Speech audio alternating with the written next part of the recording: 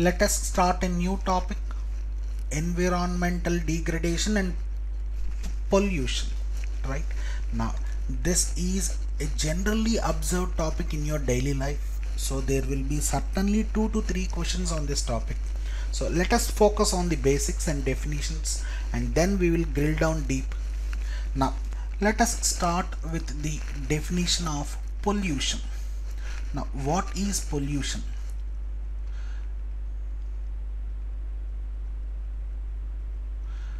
It is defined as presence of matter and this matter can be gas, liquid or solid or energy. And this energy can be heat, noise or radiation whose nature, quantity or location may alter the characteristics of the environment is called in pollution right? Now i'll summarize the crux point right? Is defined as presence of matter.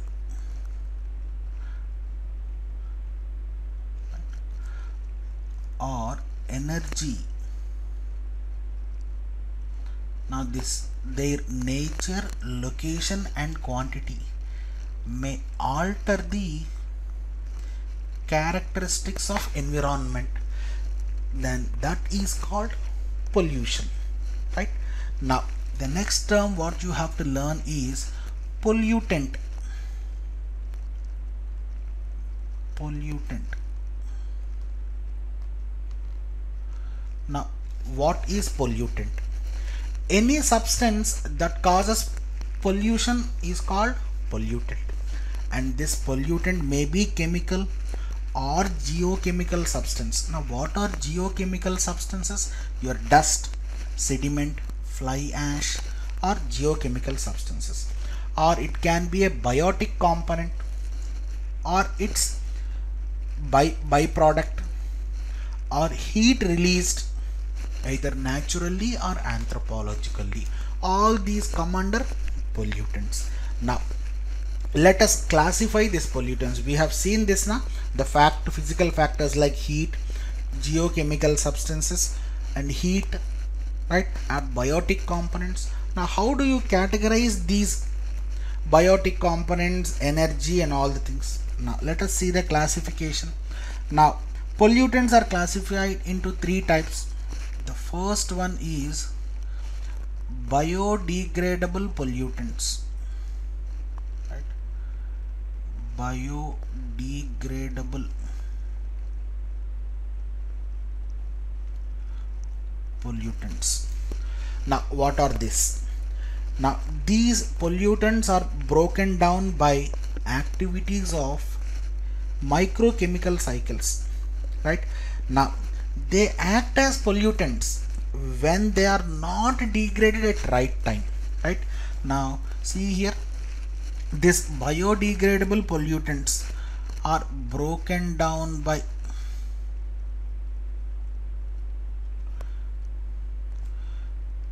broken down by chemical activities. I'm writing only the crux points right? Chemical activities.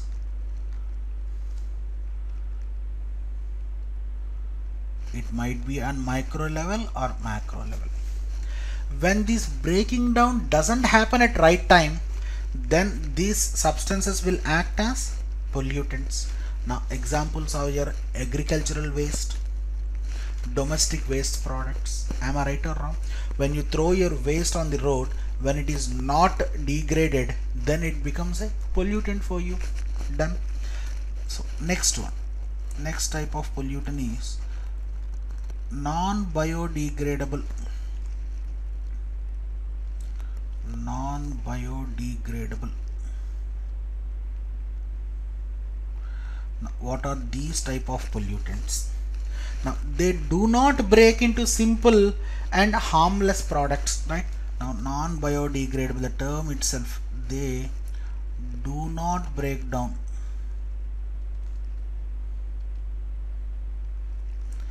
Into simpler products. Now see here they enter into food chain consequently causing biomagnification.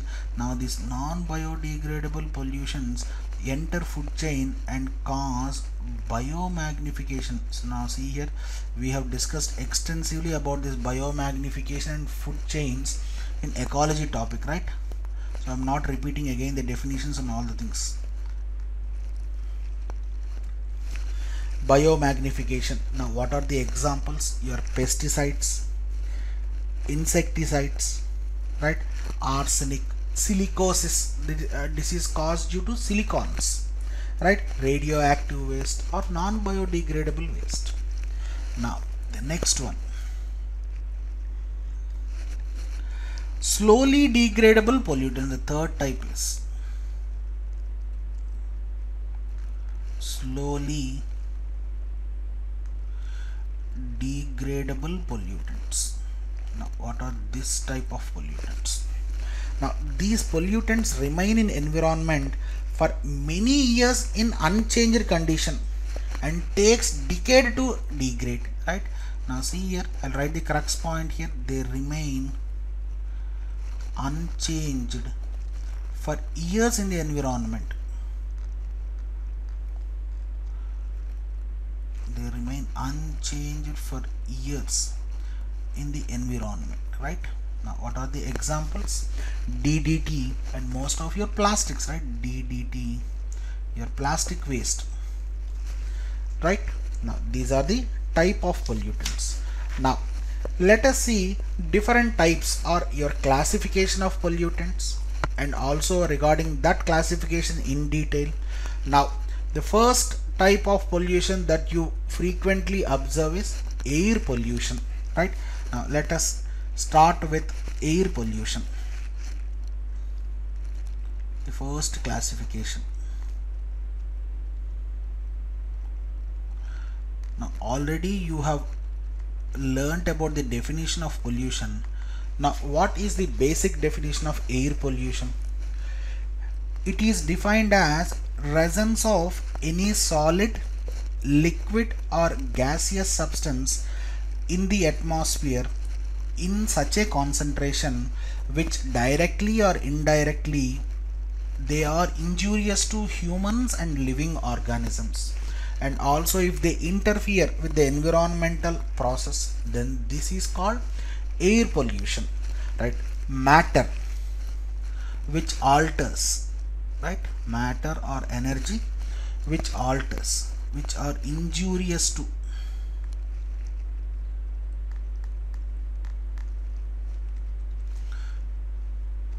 biotic compounds. I'm writing like this right?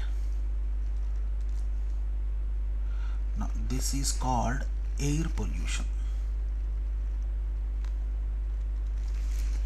Done.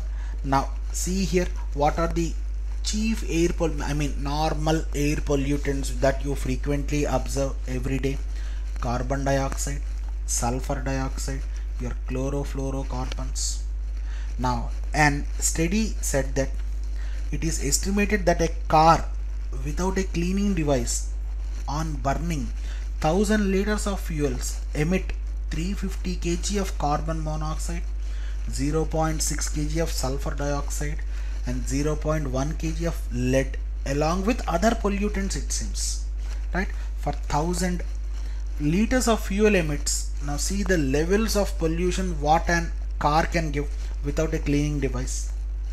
Right? Now let us learn about the types of air pollute air pollutants right? Now types of air pollutants.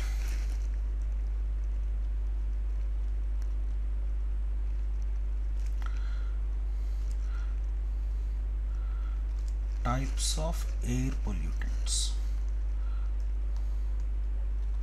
Now the first category is primary air pollutants.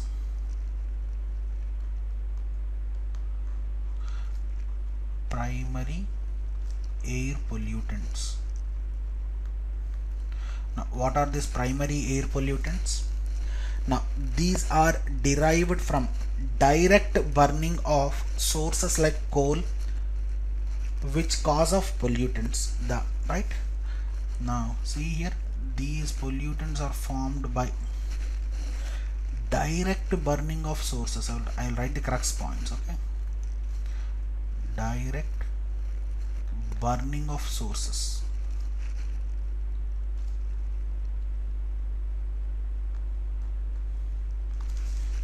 Right? Now examples are your carbon dioxide carbon monoxide sulfur dioxide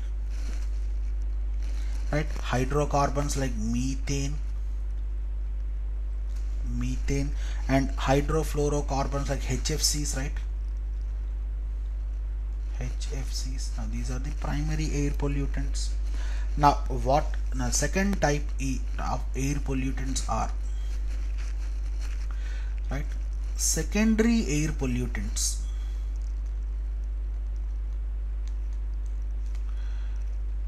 secondary air pollutants. Now what are this exactly?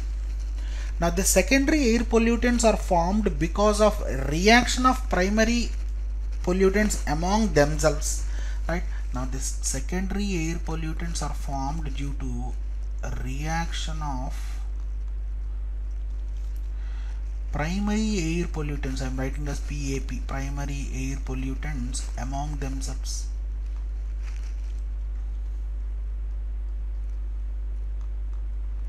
Right now this is the point. Now for example a primary pollutant sulfur dioxide when it reacts with water. Now what substance is formed? Which is called sulfuric acid H2SO4 now this H2SO4 is secondary air pollutant right? About 10% of your global air pollution is due to secondary air pollutants it seems. Right? Like sulfuric acid one example. Your this is nothing but your acid rain right now photochemical smog is one more example for secondary air pollutants right? Now let us see about the composition of primary air pollutants right? Composition of primary air pollutants.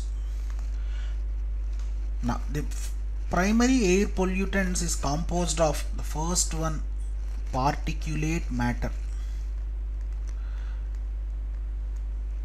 particulate matter. Now in short we will call it as PM now observe here which types of substances or particles are called particulate matter? First you have to decide that. Now an atmospheric particle having diameter 7 to 10 millimeters generally settle out in less than a day whereas the particles with diameter 1 mm or less than 1 mm remain suspended in air. They will be suspended in air for weeks. Right? Now these suspended particles with negative effects i mean which cause pollutants will be appearing in the troposphere. Will be appearing in the troposphere because in the atmosphere right? Now these type of particles are called particulate matter right? Once it was asked in your service commission examination right? What are the dimensions of particulate matter in your primary air pollutants? Example many are there right? Likewise your copper, silicon, iron dust, asbestos, all these are particulate matter, right? Now, see here, this the one more main characteristics of this particulate matter is it lowers the temperature. It lowers the temperature by absorbing sun radiation right? This is the thing the next one is fly ash. The next composition of primary air pollutant is fly ash. Now what is this fly ash? Now fly ash is a byproduct that is produced from burning of pulverized coal in electric power generating plants. Right? Now see here. This is a byproduct produced during combustion of coal in elect electric power generating plants. Now see here. During this combustion the impurities in coal fuse in suspension and float out on the combustion chamber which with the exhausting gases. Now that particles are called fly ash. Am i right? Got the point? I'll write the byproduct formed on pulverizing coal right? I'll write this.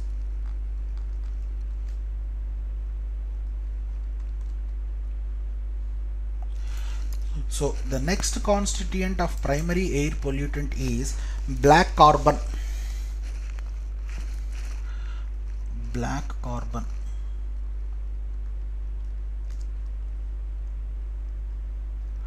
now what is this black carbon?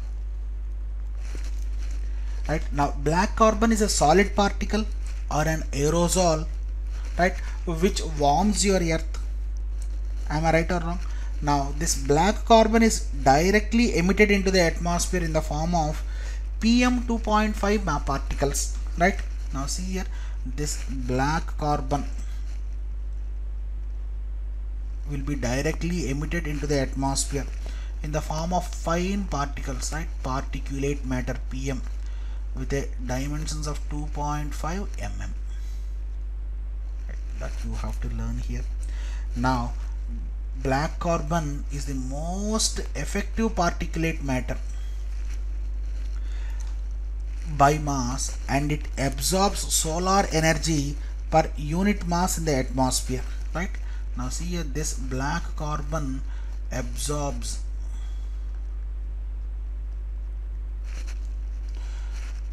solar energy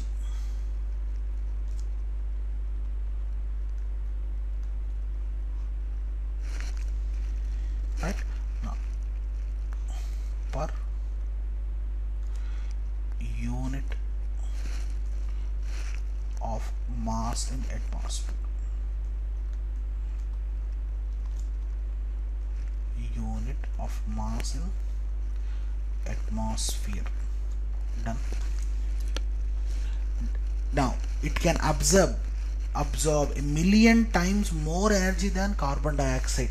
So that's why see here we are giving this as an unit per unit of mass in atmosphere. It absorbs more solar energy than carbon dioxide. That is the concern of black carbon. Now this black carbon is formed by combustion of fossil fuels biofuels and biomass right that's an easy way. Now the next constituent of primary air pollutants is aerosols. Now what is aerosol? That aerosol is basically a suspension in air or liquid or solid particles. Now aerosol is a suspension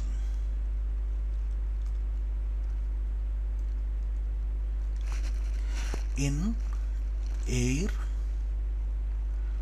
or liquid or solid particles. Now this is called aerosol.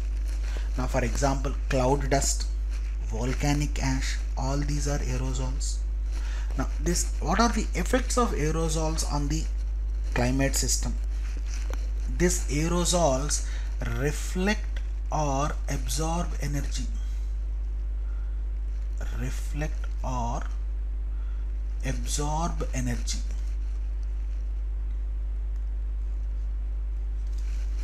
Right? Now depending on the color of the particles they are composed of i mean absorbing energy depending upon the VIBGYOR right? Okay? Now they provide a condensation nucleus which means now see here these tiny molecules all come to a composition and helps the atmospheric water vapor to condensate into droplets and therefore modify the formation of clouds it seems right? Now these aerosols will modify formation of clouds.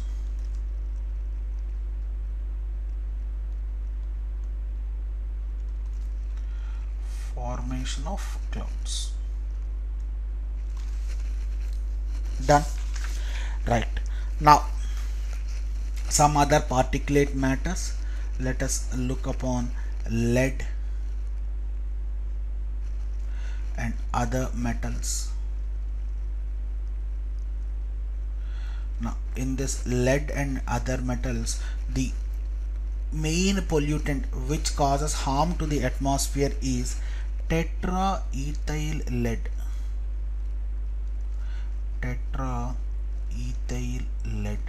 Now this tetraethyl lead act as anti-knocking agent. Now I'll write down this. Anti-knocking agent.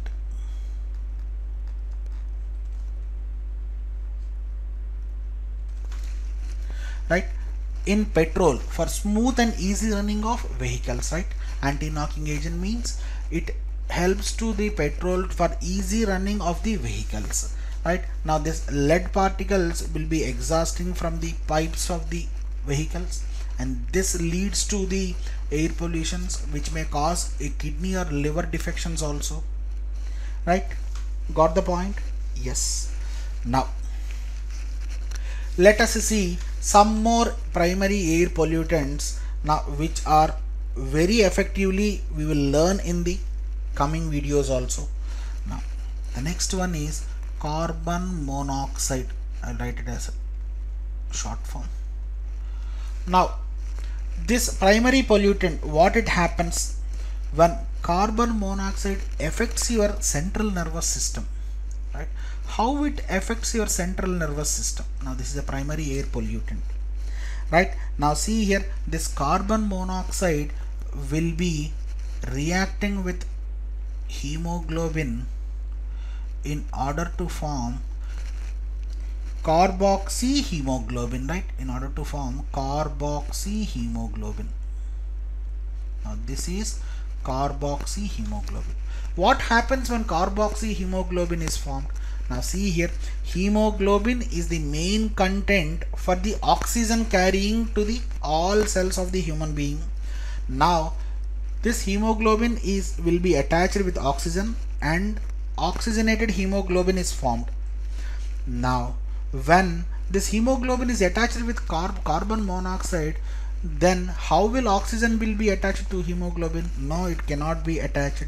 So automatically you will be suffocated and finally death happens right? This is the main reason of carbon monoxide pollution in the atmosphere got the point? Yes. And carbon monoxide is more stable 200 times more stable than oxygen.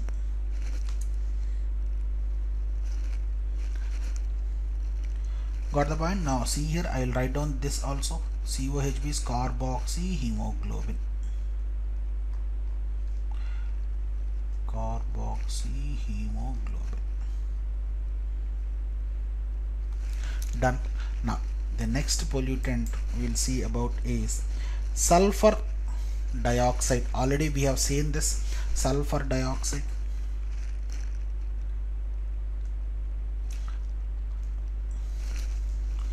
What is sulfur oxide?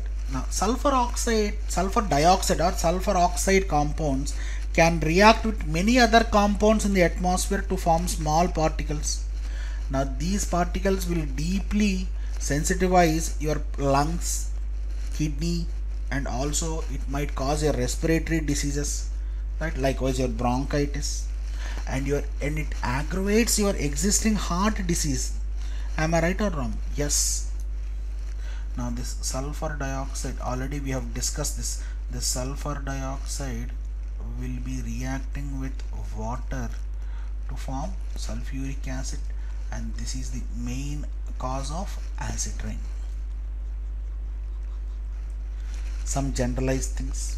And nitrogen dioxide you already know about nitrogen dioxide.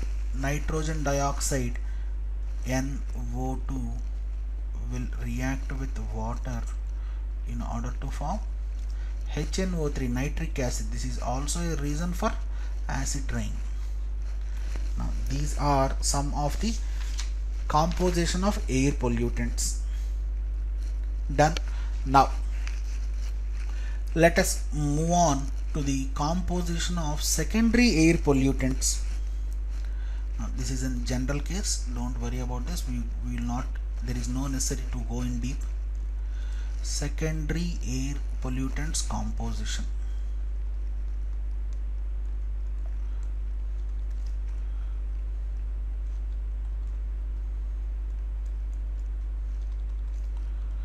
right? Now what are these secondary air pollutants composition? Mainly photochemical smog and one more important pan peroxyacetyl nitrate. I'll write the full form here.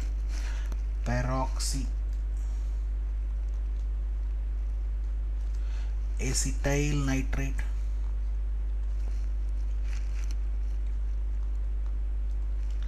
your ozone and nitrogen oxide compounds. All these are secondary air pollutants. Now see here. This secondary air pollutants will lead to form an air called brown air. Brown air where the solar radiation will be intense right? Where the solar radiation will be intense. Now in areas or seasons of less solar radiation, smog formation will be incomplete.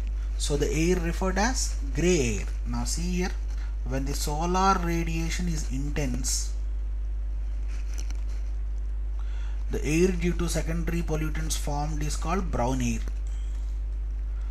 When the solar radiation is low, then the air formed due to the secondary air pollutant composition is called gray air. Now once it was asked in your service commission examinations right focus on this. Then already you know that acid rains are formed. We have discussed in detail regarding, regarding this previously. Done. Now what are the harmful effects of this photochemical smog peroxyacetyl nitrate and ozone. Now this photochemical smog results in decrease of vitamin D production leading to a disease called rickets. Right? Now see here photochemical smog. I'll write it as PCS due to this photochemical smog there will be a decrease in vitamin D which causes a disease called rickets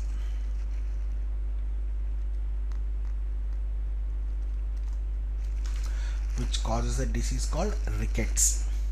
Done.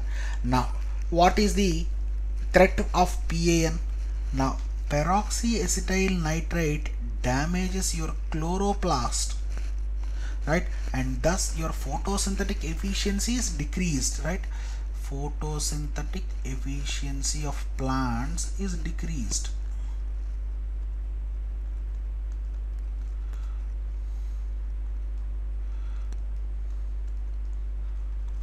is decreased right? And again what is the threat due to ozone?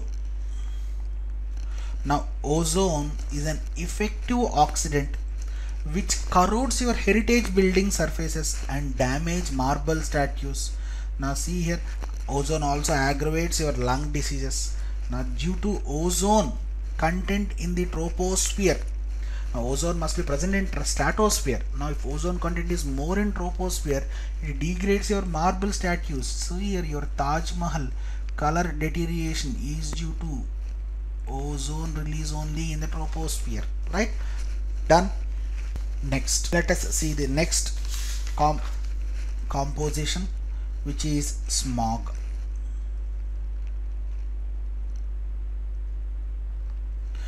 We have seen about photochemical smog. Now we will speak about smog. When fog is mixed with smoke then that is called smog. Right? Now what are the threats due to this smog? Now this smog sulfur dioxide and nitrogen dioxide are mixed.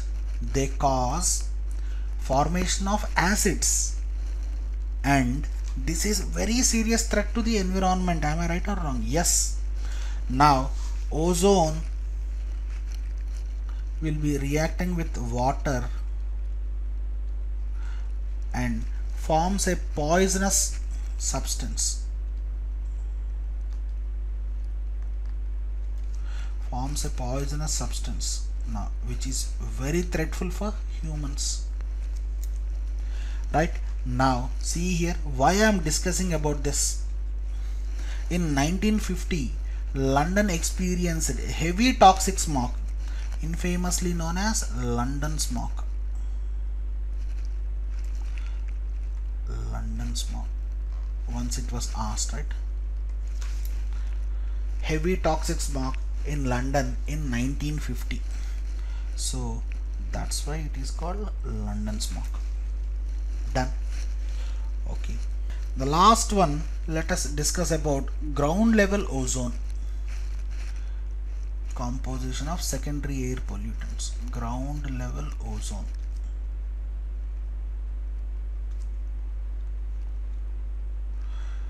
Now what is this ground level ozone and what it causes to the environment? What the threat it causes to the environment? Now ground level ozone is a major pollutant that we say it is formed from other pollutants by chemical reactions between nitrogen oxides and volatile organic compounds. Now see here this ground level ozone is formed due to reaction of nitrogen oxide compounds plus the other co organic compounds like paints solvents inks right now in the presence of sunlight ground level ozone is formed. Now this ozone already we have discussed it deteriorates your marble statues and all the things. Done. Now what are the diseases caused by this air pollutants? Famous diseases. Now, one is silicosis now what is silicosis? Now silicotuberculosis or silicosis occurs due to free silica or silicon dioxide while working in industries related to pottery ceramics glass making right? And the workers get chronic cough and pain in chest. This is silicosis due to silica silica depositions right. The next one is asbestosis.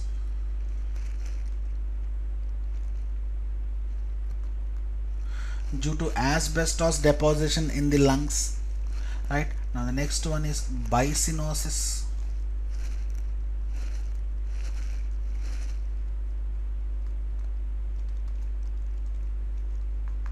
What is byssinosis? Now, this is also a lung disease caused due to inhalation of cotton fibers. Inhalation of cotton fibers. So, this disease is called byssinosis. And the other one is normal pneumonia. Everybody know that after inhalation of coal dust, you'll get pneumonia. Right now, one more important thing that we have to discuss in this is tobacco smoke tobacco smoke now which is nothing but the composition of carbon monoxide plus benzene carbon monoxide plus benzene now see here this tobacco smoke is released due to burning of cigarettes. Now it is a potent pollutant which causes you lung cancer. Done. Now see here one more important thing. Asian brown cloud. Asian brown cloud.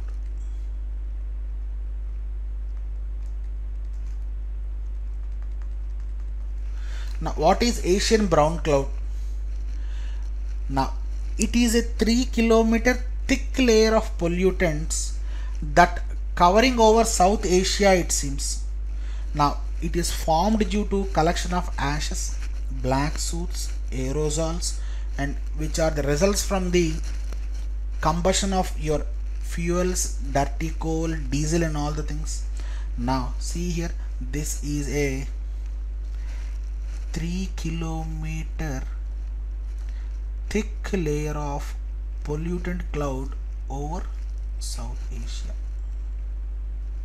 Now, this was discovered by the scientists and named it as Asian brown cloud.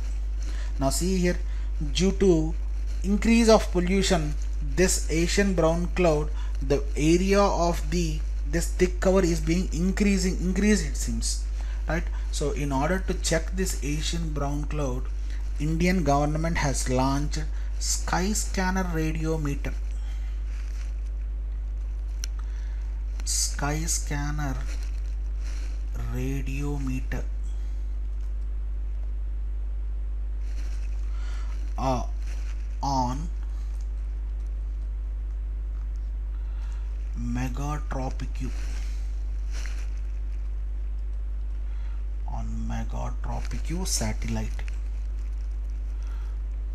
Right, to study this asian brown clouds right and also sometimes observe here your air fresheners are also a potent secondary pollutants air fresheners which contains phthalates right? Now it causes bronchitis asthma right? Then